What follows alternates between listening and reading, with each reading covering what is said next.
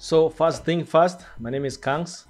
Yeah, and uh, today I went to do the test drive for Grenadier, and uh, these are my honest opinion. I love this car from the design, the fact that I used to love Land Rover Defender. Man, this this car is is way beyond the Land Rover Defender we used to have or used to know. So today I booked for a test drive in a place called uh, Coffee Drive. It's in Oman. So at this period they are open for test drive if you want to go and test the Grenadier. And this car is amazing. You can see the controls overhead.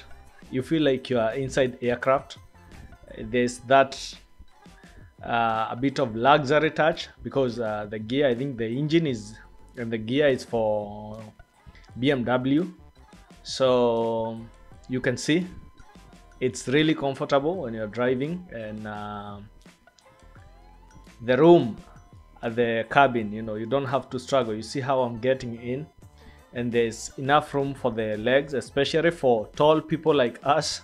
It's very comfortable. So you don't have to struggle. You know there's enough room for the legs. And you can see as you hit the road the car is very stable because uh, mostly for off-roading cars they are not that stable on the road. But you can see you can hit up to 120 180 and the car is still very very very very stable. The best part is when you go now on the terrain you know uh, to off-road. This car you know it's that perfect thing if you drove another uh, like off-roading car and then you come and do the test drive or you drive this car on the terrain i mean there's nothing to compare. I have nothing nothing nothing to compare.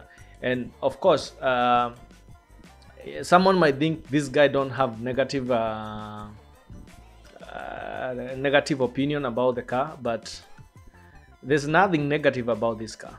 This car is perfect i'm telling you this car is perfect. This when you are descending when you are ascending especially when you are climbing you just there's two buttons you set and then you put the gear on high. And you know that engine is so powerful that you're just touching the accelerator just pressing a little bit and the car is moving by itself. When you are descending you don't have to touch anything only your steering and the brakes and the car is controlling everything. And you know when you are inside you can feel the independent suspension.